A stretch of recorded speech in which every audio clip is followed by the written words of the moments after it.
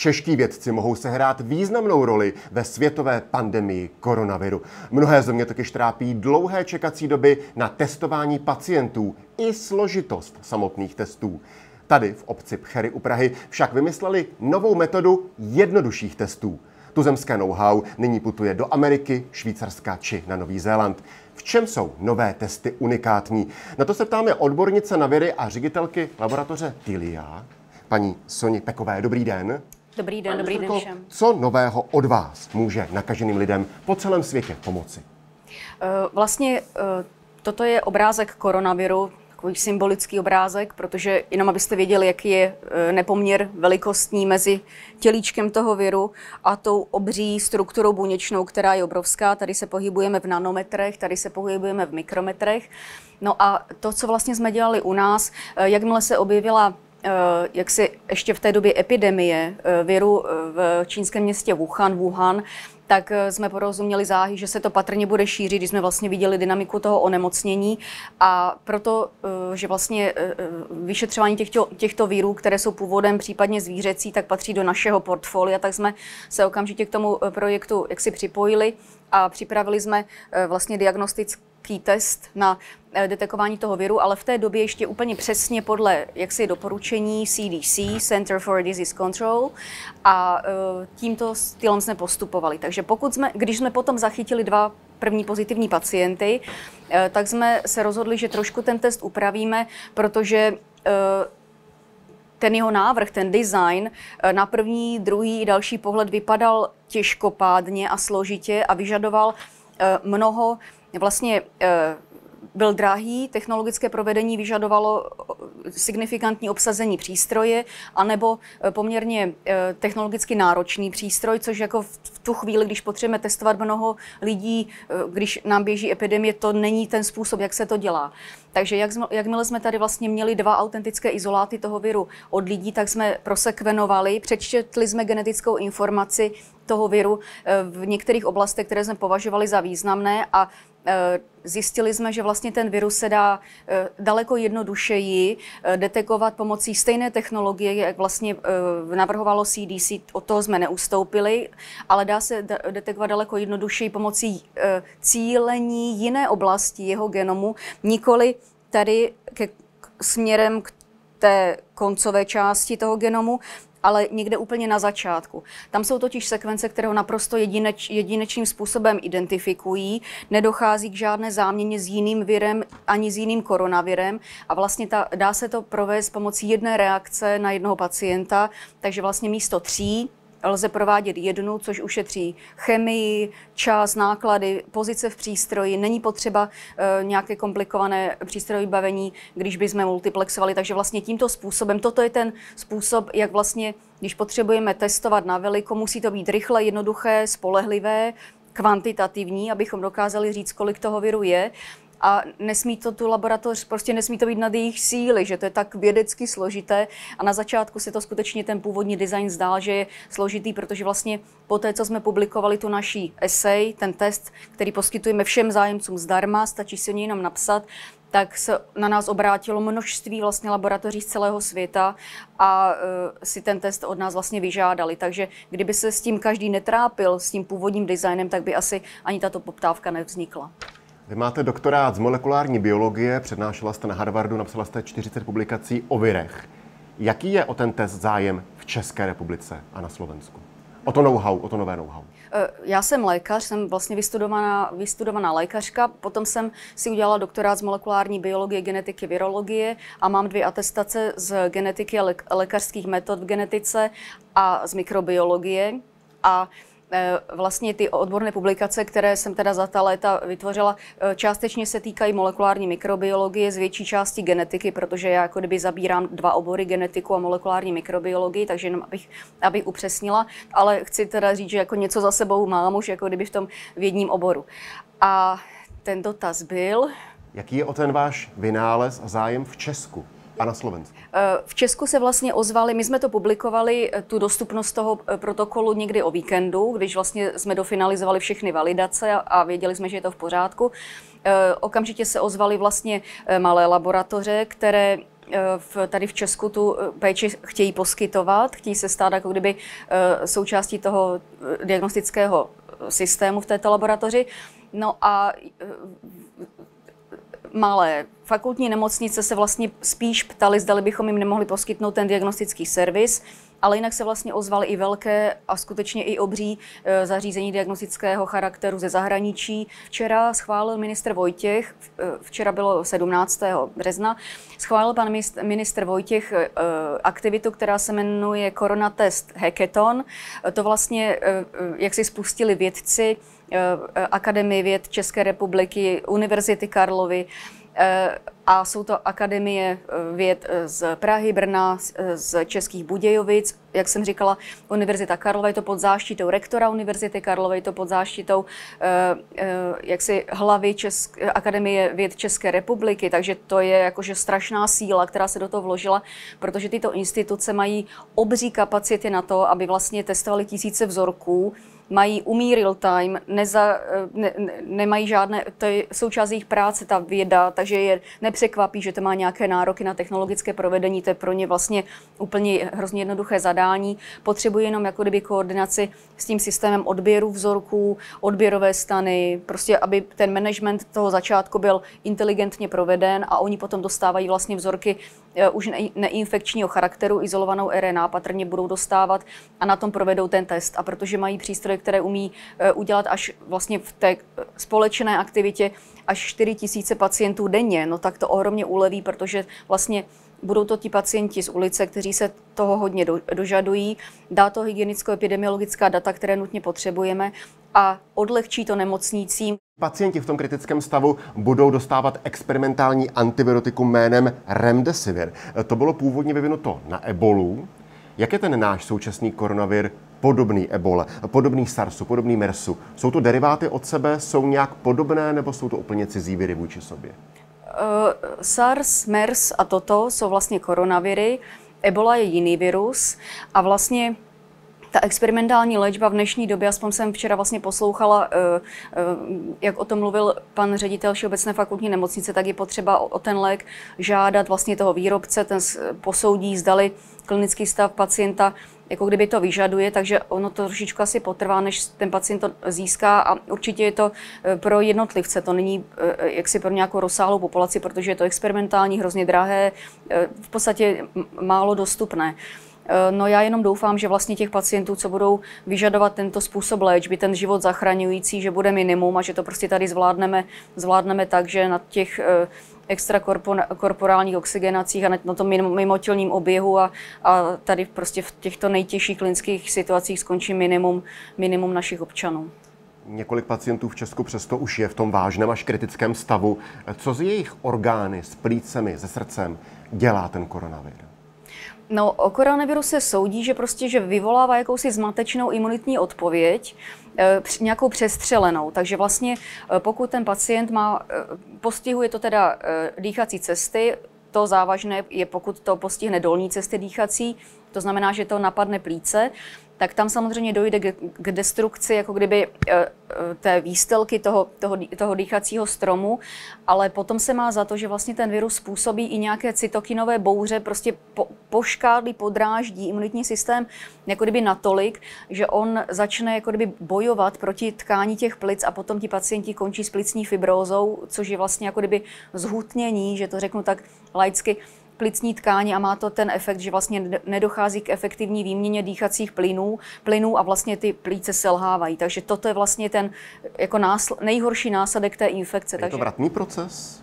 Eh, plicní fibroza bohužel vratná není, dá se ovlivnit imunomodulační léčbou, prostě asi se budou hledat nějaké protokoly, které na to budou, ale podobné věci jsme pozorovali i po chřipce H1N1, která rovněž v roce 2009, která rovněž eh, měla ráda plíce a vlastně těm pacientům ty plíce hodně poškozovala a řada z nich potom končila v plicním transplantačním programu právě proto selhání a tu vlastně tu plicní fibrózu.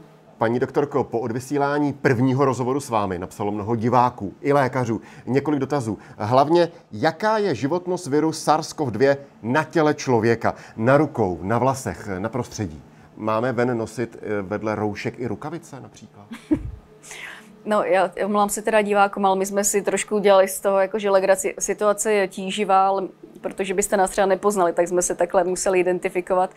No, rozhodně ten virus není nekonečně e, života schopný, takže on má rád vlhké prostředí. Prostě je to něco podobného, jako když máte rýmu a máte ten posmrkaný kapesník, kterého se každý bojí, protože šáhne na něj a chytne to z něj nebo podáte někomu ruku.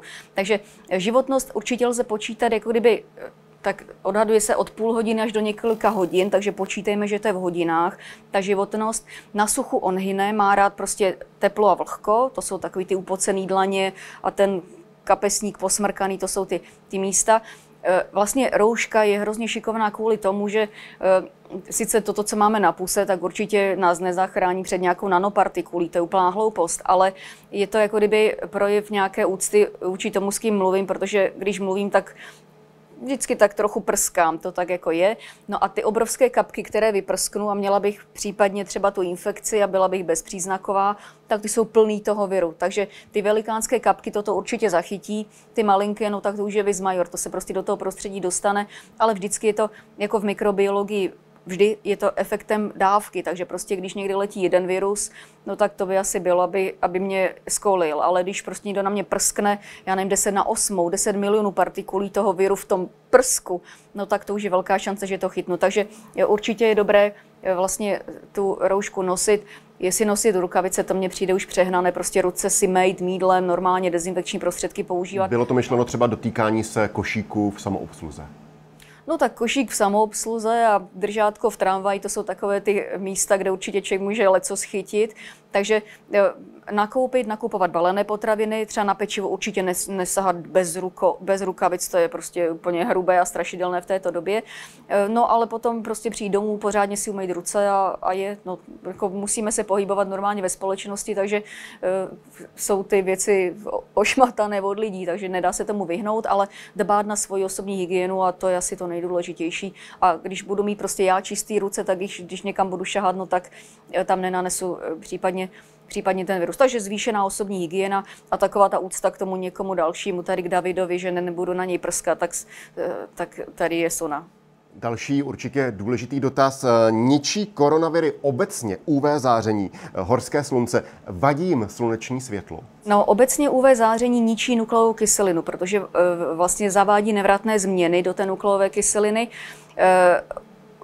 Určitě je to u, dvou, u, u virů, které mají dvouřetězcovou nukleovou kyselinu. Tento virus má jednořetězcovou, ale nicméně RNA patří, je to RNA virus, ale RNA patří mezi jako kdyby fragilní molekuly, takže jako životnost toho viru je vlastně, RNA virus by neměl být nějaký nesmrtelný, takže UV záření asi je velice dobré a třeba tam, kde se e, pracuje jako kdyby na klinikách, v ambulancích a podobně, vyzářit si ambulanci po té UV záření, to je určitě fajn a stejně se to dělá bez ohledu na to, jestli je pandemie koronaviru nebo ne.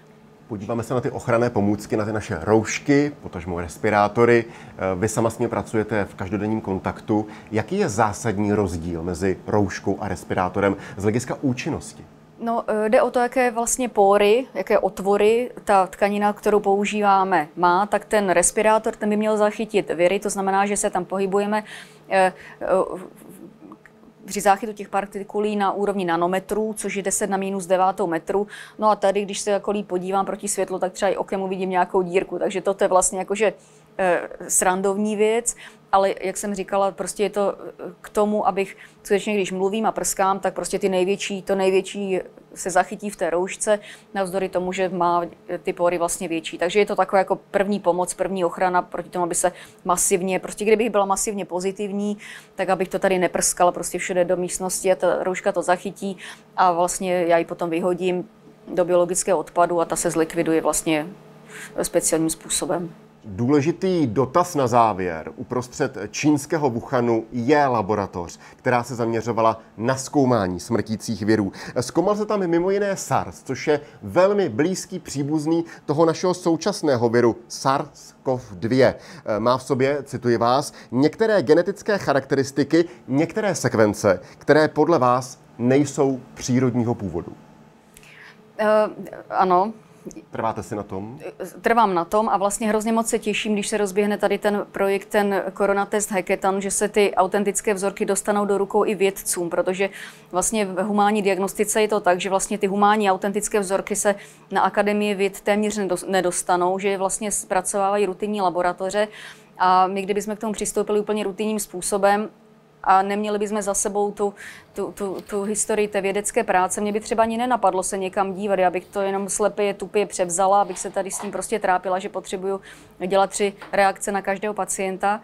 Eh, ale ten genom toho viru vlastně, eh, vlastně virus má Samozřejmě RNA viry eh, mutují, oni mají vlastně jako poměrně, se o nich ví, že jako mají tendenci mutovat, protože RNA genom je nestabilní. Eh, polymeráza, která replikuje tento genom, nedává pozor na chyby, prostě oni mají jako kdyby poměrně významný eh, jaksi mutation rate se tomu říká, kolik mutací se vlastně za jednotku času na nějakou délku té sekvence vyvine. No a, ale ty viry promutovávají oblasti, které kódují takzvané strukturální proteiny, to znamená bílkoviny, které potom tvoří tělíčko toho viru. A hlavně jsou to bílkoviny, které souvisí s tím, jak ten virus bude napadat buňku, jak bude do ní vnikat, prostě interakce bílkovina s bílkovinou. A tady jsme vlastně úplně náhodně zjistili, že ten virus má samozřejmě nějakou heterogenitu v rámci toho svého těla, těch strukturálních genů, ale to, kde je to, co ho vyčlenuje, Eh, je vlastně regulační oblast toho viru, to je ten velín toho viru. A ta regulační oblast toho viru je místo, odkud se spouští replikace množení toho viru, odkud se spouští vlastně transkripce a potom tvorba eh, bílkovin, takže to je velín. A tady u toho viru to vypadá, jako kdyby někdo přišel do toho velína a podle toho velína se ty viry navzájem poznají. Prostě tyto sekvence oni mají v rámci skupiny identické. No a u tohoto viru v tom velíně to vypadá, jako kdyby někdo přišel do velína, otvíral ty skříně, vyházel z nich všechno, převracel židle a kdyby to byla přírodní varianta, tak těžko si člověk jakože představí, že takhle rozsáhlé mutace, inzerce, delece, bodové různé, že by se staly náhodně a že by ten virus u toho, v průběhu toho procesu neumřel, protože na ten velín on si nedá šáhnout. To je prostě odtaď já velím a můžete mě promutovávat ty geny pro ty bílkoviny, přes které já půjdu do, buňku, do buňky nebo budu rozeznávat jiného hostitele, ale to, co je tady, odkaď velím, se mě neleste, a tady prostě to musí být zachováno bez mutací podle možnosti. A pokud nějaká mutace vznikne, tak to musí být mutace, která mu dá jenom nějakou lepší sílu. Každá mutace, která mu sílu ubere, pro něj znamená evoluční nevýhodu a neuplatnil by se. Zeptám Takže... se tady ty mutace, teoreticky umělé mutace, to se provádí pod elektronovým mikroskopem nebo jakým způsobem technicky? Takže já jenom ještě řeknu, že nevím, jestli to je umělá mutace, ale prostě je to natolik jako heterogenní. Velmi atypická ta mutace. Je to, je to minimálně atypické, ano, to je dobré slovo, je to minimálně atypické. A tady ty mutace se vlastně provádí uh, genetickým, jako je možnost je provádět genetickými modifikacemi, protože vlastně... To třeba i vy, i vy umíte takovouhle věc? No, když jsem ještě dělala ve, ve, víc ve vědě, no tak eh, jak se klonování mutací, mutovaných genů, to byl můj denní chleba a na to mám prostě řadu publikací, jsme klonovali různé varianty genů, testovali jsme jejich funkce ve tkáňové kultuře a nějaká drobná mutace z nějakého genu, který byl úplně kamarád, tak drobná mutace z něj udělala takového agresora, že vlastně způsobil leukémii například. Takže vlastně eh, ty mutace jsou jako kdyby ten nástroj, jak z něčeho, co je neškodné, udělat třeba něco, co je velice, velice škodlivé. A v genetice, v molekulárním inženýrství, v genovém inženýrství máme, máme nástroje, které toto umí, takže i to, jak v v té Číně nebo prostě v nějakých zemích vznikají ty designer babies, že si jakože můžete prostě, jak byl ten vlastně velký problém s tím, jak ten čínský vědec eh, vlastně vytvořil dvě úplně nově geneticky modifikované embrya, potom za to dostal hroznou pokutu vězení a tak, ale on se k tomu přiznal. Tam je prostě hromada, umím si představit vědců, který to udělá a se k tomu nepřizná. Takže vlastně v té genetice, v molekulární biologii a vlastně v tom klonování dneska máme nástroje, kterými umíme měnit vlastně úplně jako od podstaty genetickou informaci a e, vlastně reguluje to pouze e, svědomí toho vědce a nevím, jestli to je dostatečné. Umíte si představit, že existují v laboratořích, těch eh, nejtajnějších laboratořích, i šílenější viry, než je SARS-CoV-2 v současné době? Nechci si to ani představovat. Ale je to určitě možné. Mutace od eboli například a tak dále. Eh, nechci si to ani představovat, ale jako umím si představit, že je to možné. Tolik doktorka Sonja Peková, ředitelka laboratoře Týlia. Moc vám děkuji za rozhovor. Děkuji za pozvání.